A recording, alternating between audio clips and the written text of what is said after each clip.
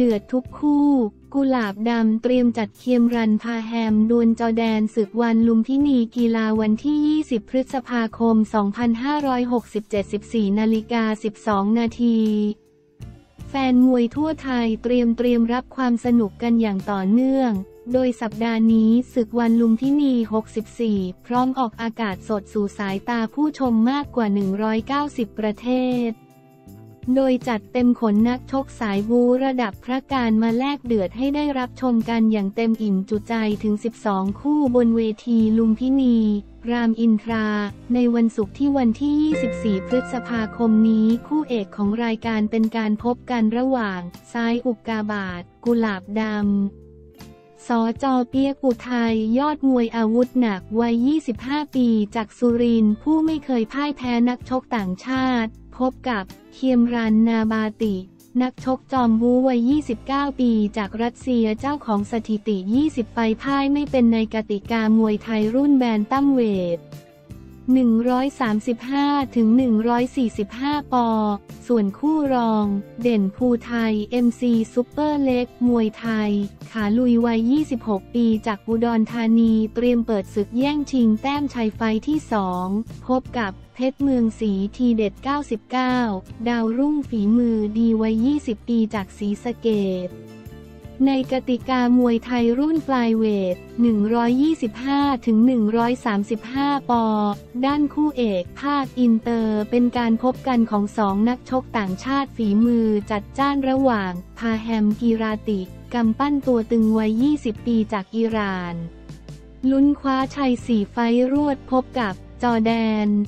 กอดเฟรดเซน นักสู้หน่วยก้านดีวัย 31 ปีจากออสเตรเลียที่หวังแจ้งเกิดให้ได้ในไฟท์ที่ 2 โดยจะปะทะกันในกติกามวยไทยรุ่นแบนตั้มเวท 135-145 ปอนอกจากนี้ยังมีการกลับมากู้ศรัทธาของตีใหญ่พีเค แสนชัย พบกับชูโตซาโตะ จากญี่ปุ่นรวมถึงการเปิดตัวของดาวรุ่งฟอร์มแรงที่เคยถูกวางตัวให้พบกับเสกสรรอาจารย์ขวัญเมือง อย่างโยฮันเอสตูปินาน จากโคลอมเบียพบ คูโอตะโอโมริ จากญี่ปุ่น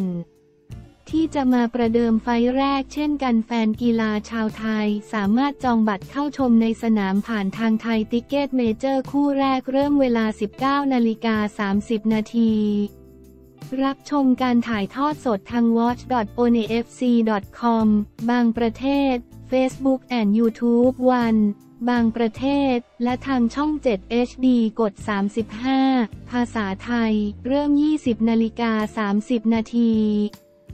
สำหรับโปรแกรมการแข่งขันทุกคู่ศึกวันลุมพินี 64 คู่เอก กุลาบดำสอจอเปียกอุทัย vs เคียมรันนาบาติ มวยไทยรุ่นแบนตั้มเวท 135-145 ปอ คู่รองเด่นภูไทย MC ซุปเปอร์เล็ก มวยไทย vs เพชรเมืองศรีทีเด็ด 99 มวยไทยรุ่นฟลายเวท 125-135 ปอ เพชรมรกตสิทธินายกทวีปตะพง vs ดีเซลน้อยเหลี่ยมธนวัฒน์มวยไทยแคทเวท 12 7 ปอ ดาบดำปอตททองทวี vs แหลมสิงห์สอ เดชพันธ์มวยไทยแคทเวท 12 6 ปอ โรโบคอปราดโกยิง vs กอตใต้เพชรบุรี มวยไทยแคทเวท 120 ปอ เพชรนินมังกร กับตันเคนบ็อกซิ่ง vs อัครเดชกวยบางคอแหลม มวยไทยรุ่นอะตอมเวท 105-115 ปอ พาแฮมกีราติ vs จอแดนกอดเฟรดเซนมวยไทยรุ่นแบนตั้มเวท 135-145 ปอ ตีใหญ่พีเค แสนชัย vs ชูโต ซาโตะ มวยไทย catchweight 120 ปอ โยฮัน เอสตูปินาน vs คูโอตะ โอโมริ มวยไทย catchweight 141 ปอ อิตซักฟาเซยิด vs ฟิลิปเป้เนโกชาเดล MMA รุ่น bantamweight 135 ถึง 145 ปอ เจียงลูมิน vs ซาโตชิ คาตาชิมะ มวยไทย catchweight 126 ปอ บรูโน อาเซเวโด vs โชยะ อิชิกุโร ปล้ำจับล็อก catchweight 139 ปอ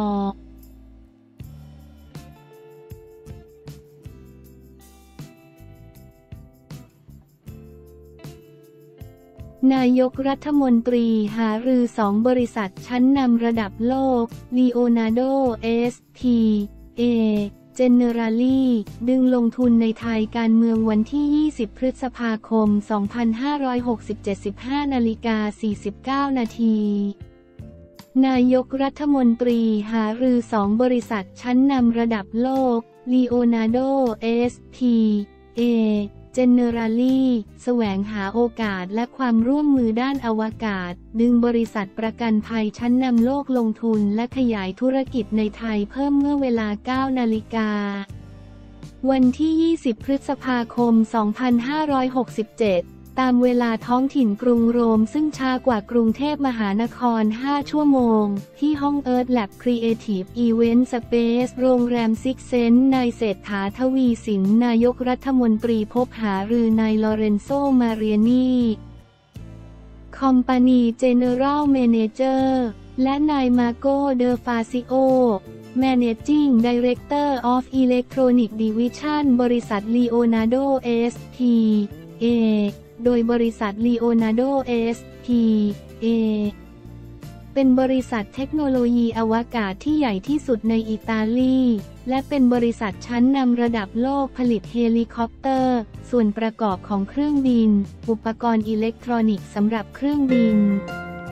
และผลิตภัณฑ์ด้านการจัดการความปลอดภัยทางไซเบอร์ Cyber Security Solution นายกรัฐมนตรีกล่าวยินดีที่บริษัทให้ความสนใจหารือความร่วมมือทั้งทางด้านธุรกิจและการลงทุนกับทั้งภาครัฐและภาคเอกชนในประเทศไทย จากนั้นทั้งสองฝ่ายได้ร่วมหารือพิจารณาความพร้อม และความเป็นไปได้ในการขยายความร่วมมือกับประเทศไทย โดยนายกรัฐมนตรีเชิญชวนให้พิจารณาใช้ประเทศไทยเป็นสำนักงานภูมิภาค Regional Office และให้การฝึกอบรมนักบินในภูมิภาค ต่อมาเวลา 9 นาฬิกา 40 นาที นายเศรษฐาพบหารือนายเจมี่แอนชุสเตกุย CEO บริษัท Generali International โดยบริษัท Generali เป็นหนึ่งในบริษัทประกันภัยและการจัดการสินทรัพย์ชั้นนำแห่งหนึ่งของโลก โดยเข้าไปขยายธุรกิจในกว่า 50 ประเทศทั่วโลก มีตัวแทนจำหน่ายประกันภัยรวมกว่า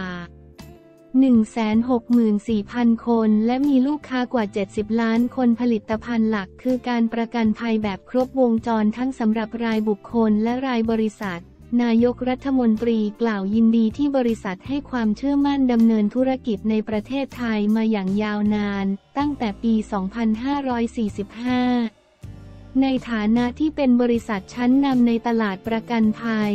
นายกรัฐมนตรีขอให้บริษัทพิจารณาโอกาสการลงทุนและขยายธุรกิจในไทย ขณะที่บริษัทเชื่อมั่นในแนวทางการดำเนินนโยบายของนายกรัฐมนตรีและรัฐบาล พร้อมร่วมมือกับรัฐบาลเพื่อประโยชน์ร่วมกันต่อไป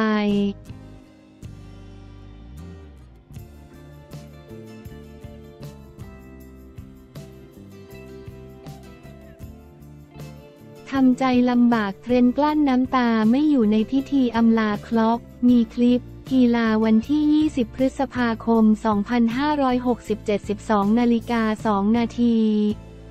เทรนต์อเล็กซานเดอร์อาโนแบ็กขวาลิเวอร์พูลถึงกับกลั้นน้ำตาเอาไว้ไม่อยู่ในพิธีอำลา เจอเก้น คลอปอดีตผู้จัดการทีมหลังมีความผูกพันกันมายาวนานสำหรับเทรนต์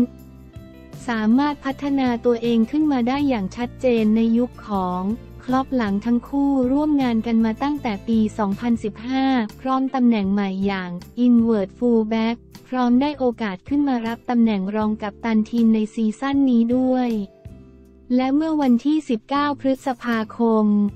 คลอปได้ลงคุมลิเวอร์พูลนัดสุดท้ายไปเป็นที่เรียบร้อยเกมเปิดสนาม แอนฟิลด์เอาชนะวูล์ฟแฮมป์ตัน2ถึง0ศึกพรีเมียร์ลีกอังกฤษแมตช์ปิดซีซั่น 2023-24 ซึ่งหลังเกมดังกล่าวสโมสรก็ได้มีการจัดงานอำลาเฮดโค้ชวัย 56 ปีรายนี้ต่อด้วย Soccer Football Premier League Liverpool v Wolverhampton Wanderers Anfield Liverpool Britain May 19 2024 Liverpool Trent Alexander-Arnold embraces manager Jurgen Klopp after being substitute Reuters Phil Noble editor use only โดยระหว่างงานอำลาดังกล่าวเทรนต์ซึ่งให้สัมภาษณ์ขอบคุณคลอปมาตลอดรวมถึงมีรายงานว่าคุณแม่ของเขาได้ขอบคุณเฮดโค้ชรายนี้ด้วยตัวเองก็ถึงกับกลั้นน้ำตาเอาไว้ไม่อยู่ ผมแทบไม่ได้ร้องไห้เลยในปีนี้ ดังนั้นนี่แสดงให้เห็นว่าเขามีความหมายสำหรับผม และสโมสรมากแค่ไหนขายกระดับผมขึ้นมาทั้งในฐานะคน และนักเตะเขาเปลี่ยนแปลงชีวิต ผมผมไม่สามารถขอบคุณได้มาก พอเขาทำให้ความฝันของผมเป็นจริง ดาวเตะวัย 25ปีกล่าวถึงความรู้สึกเช่นเดียวกับเฟอร์จิล ฟานไดค์ กองหลังกับตันทีมลิเวอร์พูลซึ่งได้ย้ายมาอยู่กับ หงส์แดง เพราะคลอปยอมทุบสถิติโลกกองหลังดึงตัวเขามาร่วมทีมเมื่อปี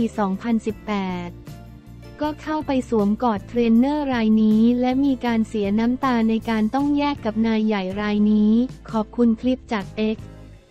แอดซามูไอ LFC และแอดโคลฟอลิก